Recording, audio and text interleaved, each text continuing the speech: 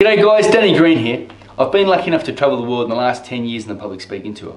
In my presentation I talk about some of the, the massive triumphs and, and successes I've had throughout my career, but also the devastating losses and lows that I've encountered as well. My message is one of motivation, inspiration, sacrifice and dedication, also having as much fun as you can along the way in your life, but the main thing is never giving up. So I look forward to seeing you guys very soon. Thank you.